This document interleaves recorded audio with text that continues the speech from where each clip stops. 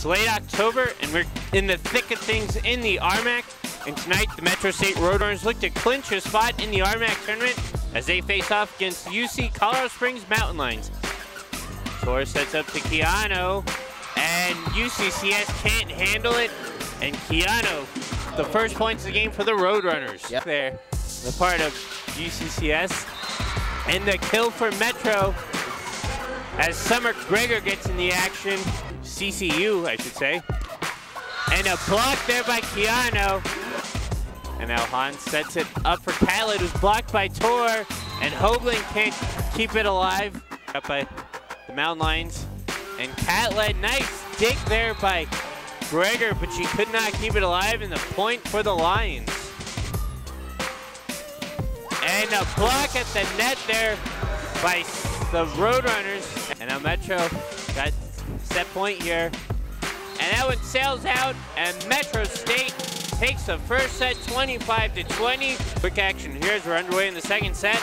And Julia Dorsey with the kill. Sends it over. And a block of the net, but it falls out of bounds. And a block there by Lauren Quijano. Just looked like a play that broke down, but yeah, now. Summer Gregor with the violent kill, and now it's 25-24. Stays alive there by Palmer. Tyler with the finesse kill, and we are tied up at 25 now. And Han, and we will continue to play the second set. Now we're knotted up at 28. Go to Garcia.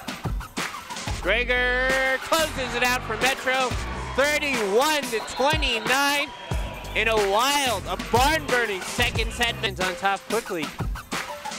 And Nolan ties us up as she blasts that one past Colorado Springs. Dug up by Han. Dorsey with the spike.